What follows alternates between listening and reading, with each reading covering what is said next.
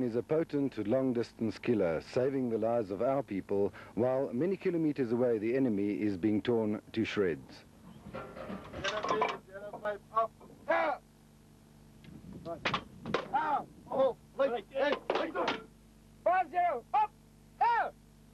With a range of some 40 kilometers and a suitable variety of projectiles and fuses, the G5 is capable of pulverizing the most determined of defenses.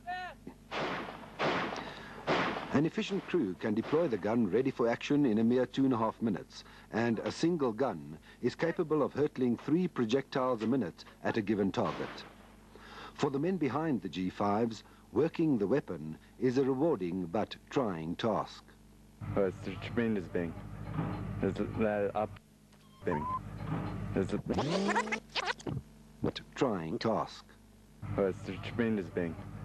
There's a up uh, sit in the tabula and um, the whole tabula just shakes when the bang goes off. En hoe voel dit as hy afgaan?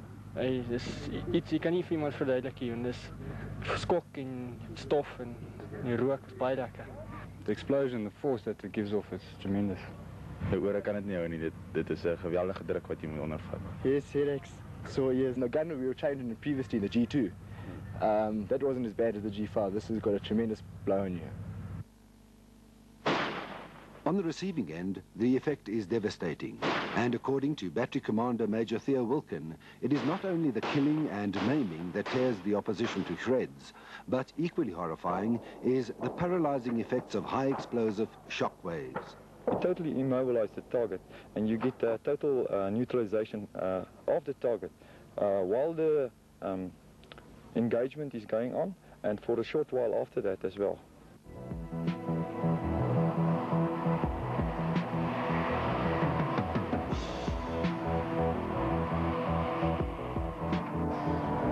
Description of the G5 given by Jane's Military Review reads, as good as anything in the Western world and in some respects even better, the self-propelled G6 is lauded in a 1987 edition of Jane's Defence Weekly as one of the best artillery systems in production.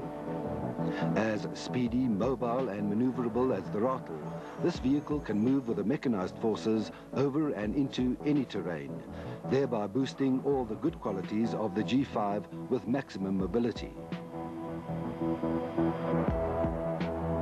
As the G6 halts to fire, outriggers are pushed down to stabilize the vehicle and save the suspension.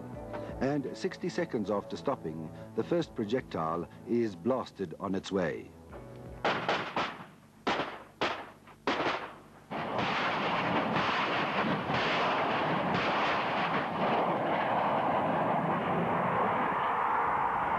Also figuring prominently in Armscor's artillery arsenal is the Valkiri 127 multiple rocket launcher, the performance of which has relegated Russia's Stalin organ to something of sound and fury but signifying nothing. With a range extending from 7,500 meters to 23 kilometers, this MRL's high fragmentation capacity provides a killing area of some 1,500 meters when used against troops who are in the open, in shallow trenches or soft-skin vehicles.